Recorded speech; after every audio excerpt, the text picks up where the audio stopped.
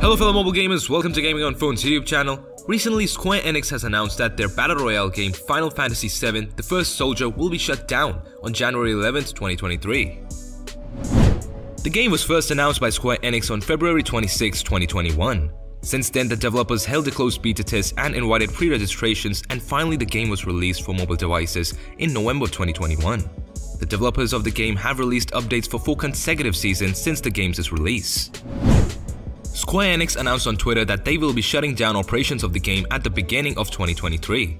The in-game currency of the game Shinra credits will not be available in the in-game shop after an announcement. However, players can use those credits they already own until the service ends in January 2023.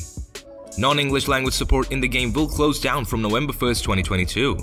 However, English language support will be available until the game shuts down officially. The developers and publisher of the game, Square Enix confirmed that they will release regular updates for the game until the game shuts shop in January next year. That's what we knew so far about the recent condition of Final Fantasy VII. What are your thoughts on this? Let us know in the comments below. If you have loved the video then give it a thumbs up and don't forget to subscribe to the channel and also tap on the bell icon so you don't miss any videos in the future. We'll be back with more exciting mobile gaming videos soon. Meanwhile, you can always check the previous week's news highlights and our website www.gamingonphone.com. So see you in the next video.